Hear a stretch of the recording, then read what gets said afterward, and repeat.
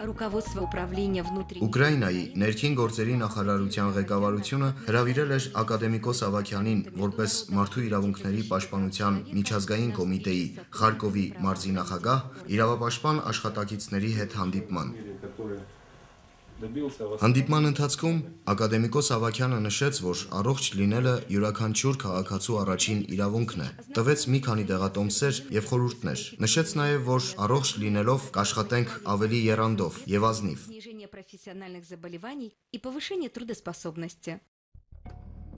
Кроме того, работники правоохранительных органов смогли лично Աշխատակիցները խմեցին հրաշագործ դեղաբույսերի լուծույթը։ попробовав чудодейственный фитопрепарат.